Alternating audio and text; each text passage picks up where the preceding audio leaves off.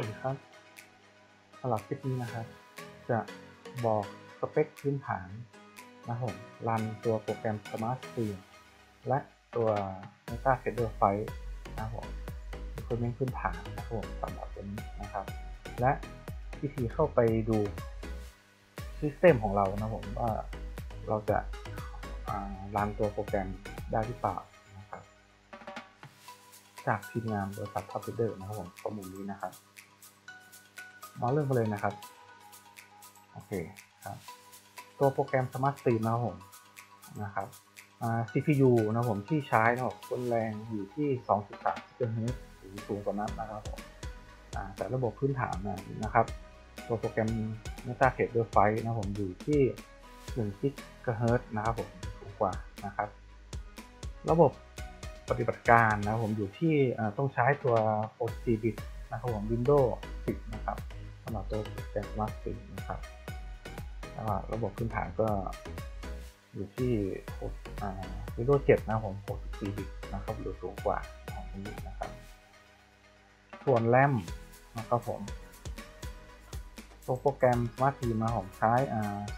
4นะครับผมหรือสูงกว่านะครับส่วนบนพื้นฐานอยู่ที่ 512 เมกนะครับ ส่วนฮาร์ดดิสก์นะครับผมตัวความจุนะครับอยู่ที่ นะครับผมขั้นต่ำนะครับ ผมตัวแกนที่ใช้นะครับ อยู่ที่ 250เมกนะครับสำหรับตัว PC f i นะผมพื้นฐานอยู่ที่ 50เมกนะครับ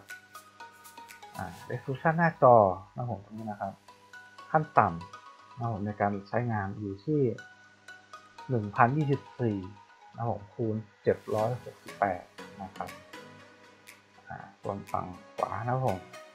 ตัว MT5 พื้นฐานอยู่ที่ 800คูณ600 ครับนะครับอ่าแล้วก็วิธีเข้าไปดูสเปคคอมของตัวเองนะครับ search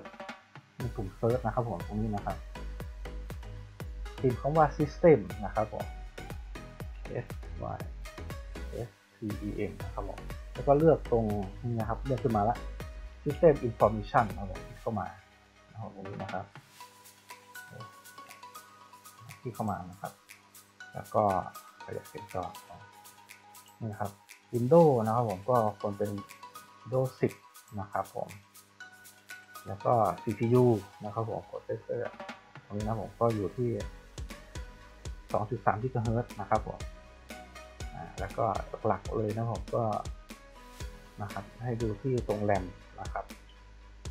นะครับผมก็ควรแรมนี้นะครับ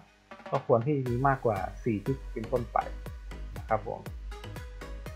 นะครับเพื่อที่ว่าจะรันตัวโปรแกรมสมาร์ทสิ่งตรงนี้นะครับผมให้ลื่นไหลนะครับไม่เด้งหลุดนะครับโอเคครับสำหรับคลิปนี้ก็นี่ครับสนใจสอบถามเพิ่มเติม สแกน QR Code ได้เลยค่ะ